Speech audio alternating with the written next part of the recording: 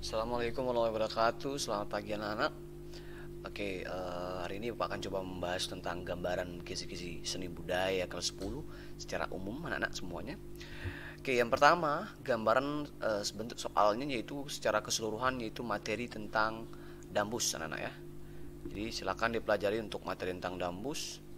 Contohnya banyak ya Kita bisa melihat atau mereview kembali Tentang dambus Yang sudah Pak sampaikan mungkin dari pengertian dambus itu sendiri kemudian posisi uh, uh, kepalanya di mana leher di mana pemutar senar di mana setang di mana dan sebagainya sudah Pak bahas dalam pembelajaran dambus sebelum-sebelumnya seperti itu.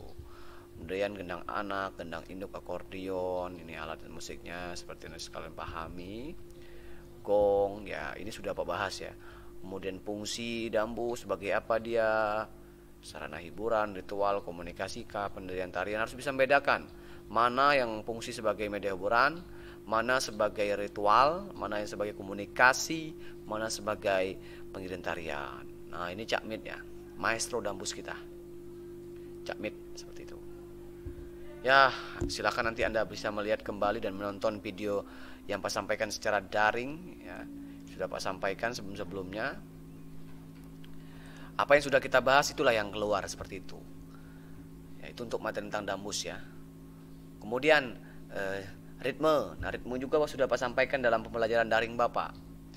Ritme ketukan seperti apa dia, kemudian eh, not satu ketuk, not dua ketuk, tiga ketuk, empat ketuk, Anda sudah paham ya tentang tentang eh, ritme. Silakan dibaca kembali untuk materi tentang ritme karena materi ini sudah Pak sampaikan dalam video pembelajaran Bapak silakan kalian tonton lagi. Ya video tentang ritme. Mana itu not 4 ketuk not 2 ketuk satu ketuk ya setengah ketuk. Harus kau paham itu. Ya, jangan sampai tidak paham untuk soal ritme. Silakan dicatat kembali dirangkum dan tonton lagi untuk belajar daringnya seperti itu.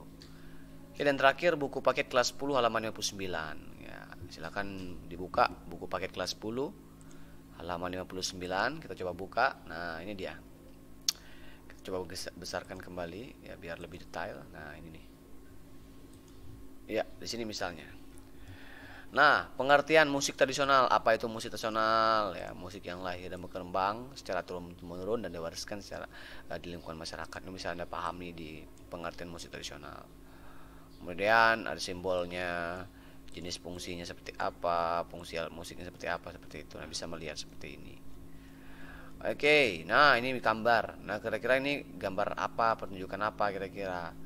Nah kalau ini kan gambar satu ini kan bisa anda melihat gambar, ada gambar band ya, yang itu tentang uh, jazz ya, musik jazz seperti itu. Ini ada pertunjukan akustikan ya, dengan diringi kecapi dan gitar. Ya ini bisa anda lihat lah. Nah ini hanya membedakan pertunjukannya saja seperti itu. Oke, ya sudah. Nah, pengertian musik. Apa itu musik kan? Musik adalah bunyi yang disukai manusia dari berbagai sumber. Silakan pahami pengertian musik ini. Dan musik ini, seni musik ini termasuk dalam indera apa dia? Ya, paling tepat ya jelas indera penglihatan dan indera pendengaran. Jangan sampai Anda salah. Kalau penglihatan berarti dia seni rupa, seperti itu. Oke, kita coba lanjut kembali tentang ritme tadi ya. Ini sudah nggak usah kita bahas soal-soal tentang ritme dengan metode Yam Tata sudah bahas sebelum-sebelumnya di prakteknya. Nah genre musik ada musik klasik pop jazz keroncong. Anda bisa uh, bacakan saja jenis-jenis genre ya. Mungkin ada beberapa soal yang keluar nggak tahu seperti itu.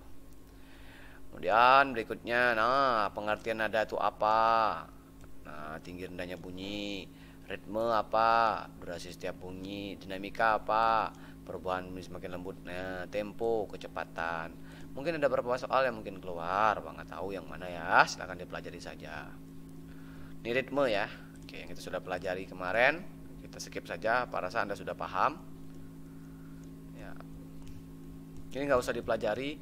Coba sudah suang nggak usah. Ini nggak usah. Tidak ada yang kita bahas di sini. Ini juga kita skip dulu. Ini juga yang tidak ada. Oke, berikutnya ini keroncong moyan juga tidak bisa dibahas, nggak usah dipelajari. Oke, nah sekarang jenis musik tradisional. Nah ini anak, kau lihat musik vokal artinya apa? Musik, nah, musik vokal adalah seni suara yang dihasilkan melalui mulut manusia.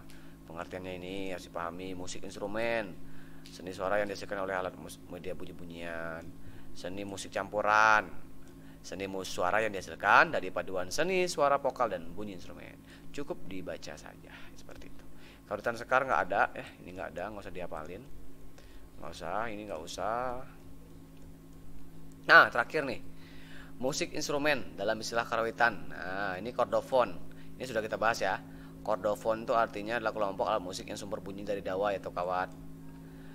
Nah ingat kordofon ini adalah kata kuncinya itu alat musik sumber dari bunyi dari kawat atau dawai. Nah kira-kira yang sumber bunyi kawat atau dawai senar ya ya jelas. Gitar dambus. Ini kan alat musiknya ada senar ada ada kawat di situ kan? Nah itu masuk dalam istilah kordofon. Idiopon yaitu alat musik sumber bunyi dari badan alat musik sendiri yang terbuat dari perunggu. Ya dari perunggu contohnya apa alat musik terbuat dari perunggu? Ya udah gong misalnya kan? Atau besi atau kayu kata kuncinya. Ya misalnya gendang kemudian banyak sih tak lempong banyak banget untuk idiopon istilah idiopon seperti itu. Membranopon yaitu alat musik yang sumber bunyinya dari kulit atau fiberglass nah, jelas dong. Contohnya apa? Membranopon yaitu beduk rebana itu kan semuanya dari kulit binatang. Ya. Kemudian dalam fiberglass drum misalnya kan? Bisa contoh dalam membranopon aeropon alat musik yang sumber bunyi dari udara. Jelas dong. Kalau jelas sumber bunyi dari musik dari udara yaitu termasuk digolong dalam aeropon. Contoh alat musiknya apa? Contohnya adalah seperti alat musik tiup ya. Misalnya recorder, trompet, saxophone, harmonika, suling, semua yang berhubungan dengan musik tiup, aeropon masuknya.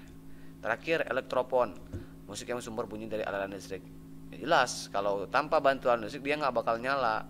Contohnya apa? Piano atau keyboard. Eh, piano nggak masuk. Keyboard ya, sorry ya.